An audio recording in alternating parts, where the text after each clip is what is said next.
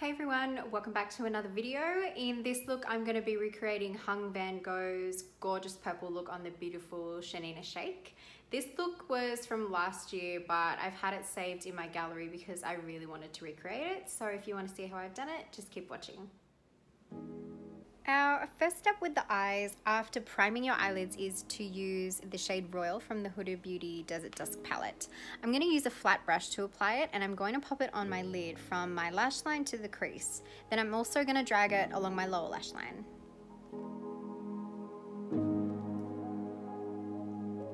Your next step is to take the shade Amethyst from the same palette using a fluffy brush and we're just going to blend out that first shade.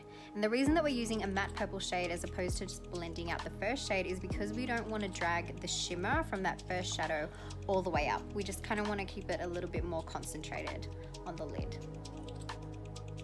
We're going to keep layering the purple now. So I'm going to use a MAC pigment called Push the Edge and I'm going to wet my brush with Murad Hydrating Toner. The reason for that is I'm actually going to turn that pigment into a little bit more of a paste so it comes out a bit stronger on the lid. And then using that flat brush, we're just going to basically paint it on the lid from the lash line to the crease. Then again, we're just going to blend it out and then keep blending and blending and blending until you get a really beautiful smoky eye.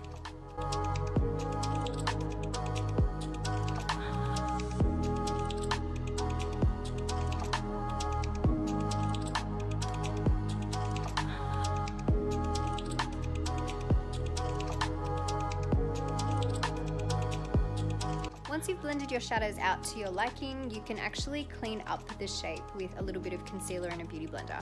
I haven't, regrettably, I wish I did, but I thought the shape was fine as I was blending it. But yeah, you can always just clean it up with a little bit of concealer.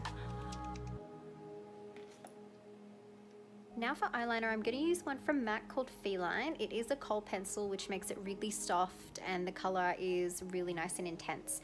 And I'm going to pop it on the inner rim of my eye and that's just going to pull together the whole look. After filling in my brows with a little bit of brow powder, I'm going to use this old school technique with soap and a spoolie brush. So I'm going to take a clean mascara wand or a spoolie and I'm going to spritz it with some of the hydrating toner again. You can just use water if you like, but the toner is what I had on me. So I'm going to spritz it with that and then I'm actually going to take that into the soap. So I'm going to drag it through the soap.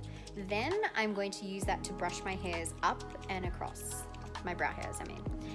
And when you do that, it actually helps to keep your brows up and it also helps to separate them so it makes them look really nice and fluffy. So we're going to do that and that's going to hold them in place and make them look really polished.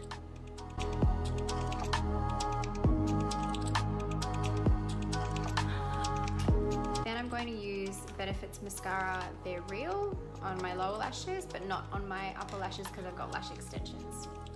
So here's the final look. In my version, you can see that I mixed a few different shades of purple together to get the right one. If you want to just use one color, then you can check out Hung Vanngo's Instagram because he usually lists the products that he uses on his own page. Thanks so much for watching, guys. I really enjoyed doing this look. I hope you did too. I will see you in my next video. Bye.